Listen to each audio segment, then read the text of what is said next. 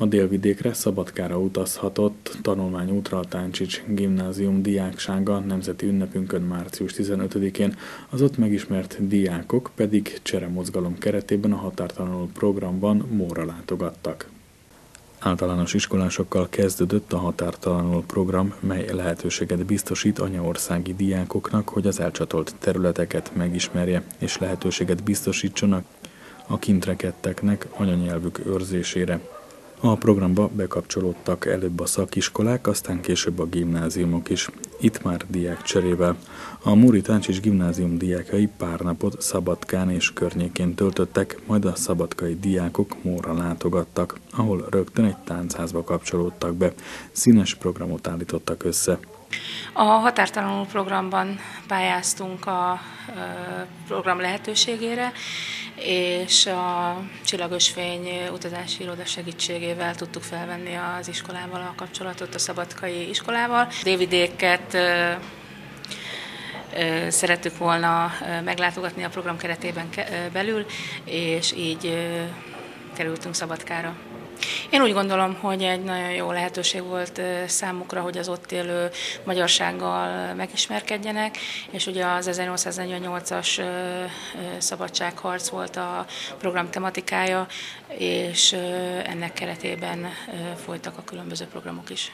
A határtalanul programon keretein belül nyertünk egy pályázaton, melynek keretein belül a Móri Táncsics Mihály Gimnázium, illetve a Szabadkai Svetozár Márkai Gimnázium egy kölcsönös kirándulásos programot szervezett.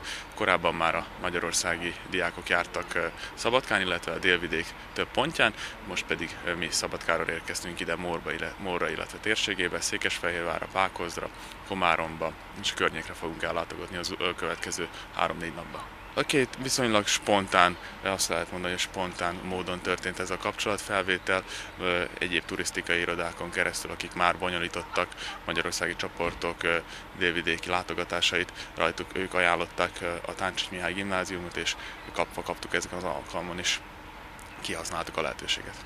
A vendégeket fogadta Fenyves Péter polgármester, aki megismertette a diákokkal Mór történetét, de sok-sok érdekességet láthattak, hallhattak.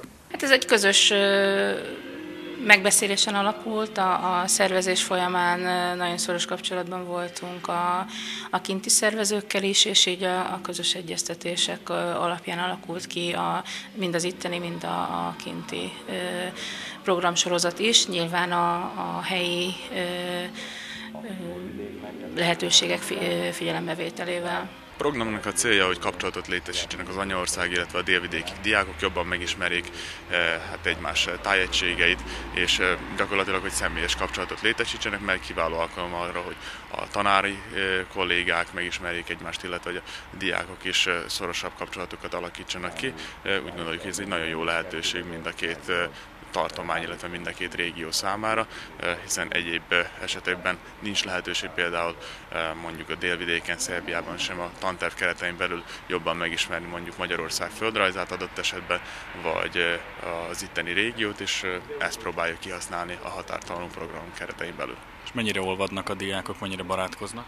Én azt gondolom, hogy a, ugye ez a második nap, annak is mondjuk a közepén járunk, de már sportrendezvényeken, egymás elleni röplabda mérkőzésen, foci mérkőzésen már találkoztunk, bemutattuk a, kölcsönösen a két intézményt, és úgy érzem, hogy egy hullám hosszon pendülnek, attól függetlenül, hogy 200 km, 200 km választja el egymástól a két várost, úgyhogy szerintem egy nagyon jó programnak nézünk elébe. Én úgy gondolom, hogy a, a korosztályi kapcsolatok nagyon pozitívak voltak, és a közös programok segítették, hogy a, a diákok megismerhessék egymást, és reméljük, hogy a továbbiakban is ezek élő kapcsolatok maradnak.